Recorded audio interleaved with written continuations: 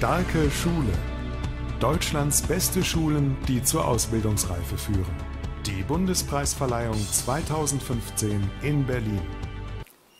Die Laudatio für Platz Nummer 3 wird halten Herr Dr. Clemens Börsig von der Deutsche Bank Stiftung.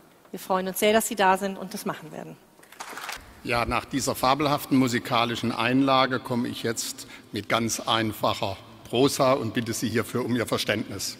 Sehr verehrter Herr Bundespräsident, sehr verehrte Frau Schad, meine sehr geehrten Damen und Herren, liebe Partner von Starke Schule, vor allem aber liebe Lehrerinnen und Lehrer, liebe Schülerinnen und Schüler. Zu sein, was wir sind und zu werden, wozu wir fähig sind, das ist das größte Ziel unseres Lebens, formulierte einmal der schottische Schriftsteller Robert Louis Stevenson.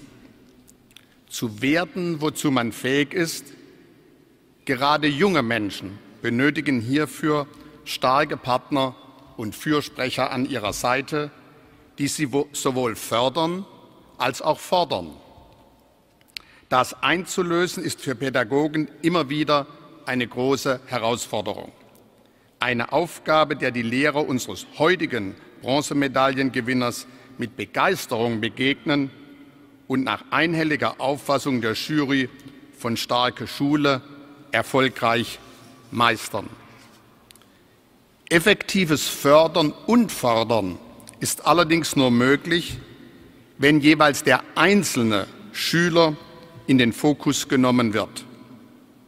Um optimal auf jeden Einzelfall eingehen zu können, statt daher in den Klassen 5 und 6 eine systematische Eingangs steht daher in Klasse Verzeihung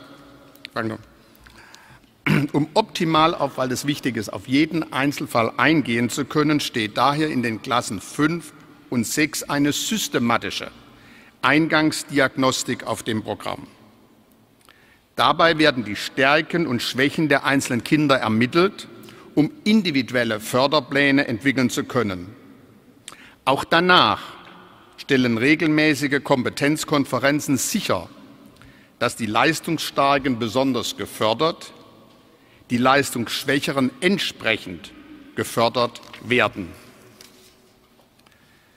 Dass unser heutiger Preisträger schon immer etwas seiner Zeit voraus war, zeigt nicht zuletzt das gemeinsame Unterrichten von Schülern mit und ohne Handicaps. Während viele andere Schulen noch intensiv an der praktischen Umsetzung der Inklusion arbeiten, hat unser Kandidat für das Siegertreppchen bereits seit dem Schuljahr 2000-2001 die Kinder binnendifferenziert im selben Klassenzimmer lernen lassen. Und dass die Schule sich als Institution für alle unter einem Dach versteht, zeigt auch die Ausrichtung auf junge Menschen mit körperlichen Beeinträchtigungen. So ist das Gebäude seit 2012 behindertengerecht ausgestattet. Die Funktionsräume und Pausenhöfe sind auch mit Rollstuhl zu erreichen und das Lehrpersonal ist entsprechend ausgebildet. Inklusion ist hier nicht nur ein zeitgeistiges Schlagwort, sondern seit Jahren gelebte pädagogische Wirklichkeit. Als eine ganz besondere Leistung hob die Jury weiterhin die Anstrengung der Schule in der Berufsorientierung hervor.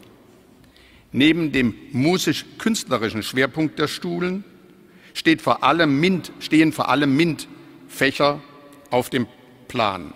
Gerade auch Mädchen werden dabei zielgerichtet an Naturwissenschaften und Technik herangeführt, Bereiche, die auch heute noch eher eine Männerdomäne darstellen. Das hilft den jungen Frauen, tradierte Geschlechts Geschlechterfestlegungen in der Arbeitswelt zu hinterfragen. Manch eine ist dabei schon auf ihren späteren Ausbildungsbereich gestoßen, der bis dahin noch außerhalb ihres Blickfeldes lag. Als besonders innovativ bewertete die Jury die Gründung des gemeinnützigen Vereins Base L. Um das ehrgeizige Ziel, kein Abschluss ohne Anschluss verwirklichen zu können, gründeten Eltern, Lehrer und Unternehmer 2007 einen Verein, mit überzeugenden Resultaten. 95 Prozent der Jugendlichen, die nach der Klasse 10 die Schule verlassen, haben einen Ausbildungsvertrag in der Tasche oder besuchen mit einem konkreten Berufsziel vor Augen ein Berufskolleg. Möglich wird das durch die intensive Betreuung der Schüler durch Coaches, die vom Verein Base L beschäftigt werden. Berufseinstiegsbegleiter, die die Schüler individuell bei der Praktikums- und Ausbildungssuche unterstützen. Dadurch wird den Schülern der Übergang von der Schule in die Ausbildung ungemein erleichtert. Aber auch die Betriebe, denen es immer schwerer fällt, geeignete Auszubildende zu gewinnen, profitieren von der Kooperation. Denn wie der Berufsausbildungsbericht 2014 zeigt, konnten bundesweit 40 Prozent der Betriebe ihre angebotenen Ausbildungsstellen nicht voll besetzen. Kein Wunder also, dass sich mehr als 20 Unternehmen im Verein Base L engagieren. Meine Damen und Herren, ich bin mir sicher, dass wir auch in Zukunft immer wieder von, unseren Preisträger, von unserem Preisträger hören werden. Denn Stillstand ist für diese Schule ein Fremdwort. Sie versteht sich als lernende Institution, in die sich jeder mit seinen eigenen Ideen, Stärken und Kompetenzen einbringen soll. Sei es im didaktischen Ausschuss, bei der systematischen Personalentwicklung, der kollegialen Supervision, im multiprofessionellen Beratungsteam oder wie schon erwähnt im Berufsorientierungsverein Base L. Meine sehr verehrten Damen und Herren, die Vorreiterrolle in der Inklusion, die individuelle Förderung des einzelnen Schülers, die sehr hohen Übergangsquoten sowie die exzellente Berufsorientierung haben die Jury überzeugt, der städtischen Gesamtschule Nettetal den dritten Preis zu verleihen. Herzlichen Glückwunsch zu Ihrem Erfolg bei Starke Schule.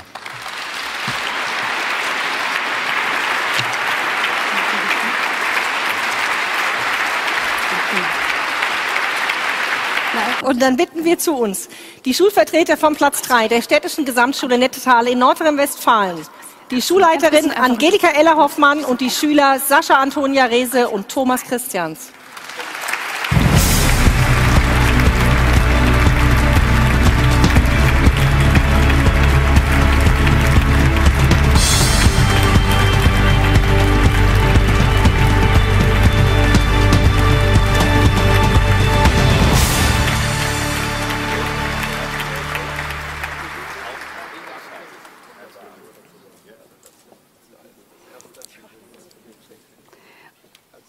Und auch hier wird es wieder gleich ein Foto geben.